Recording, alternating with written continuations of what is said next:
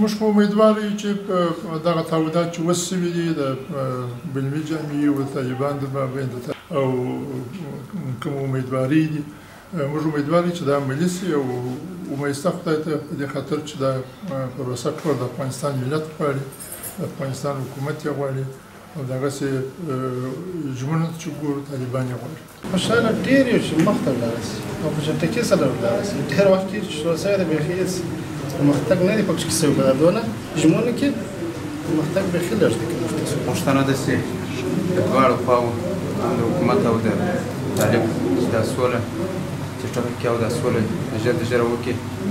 په دې باندې خور سره خوشاله دي بیا مانه موږ دې ټیم خوشاله دي سوله په بیر کې د بندیان رايلاسي او سوله وسه د خلک سره کې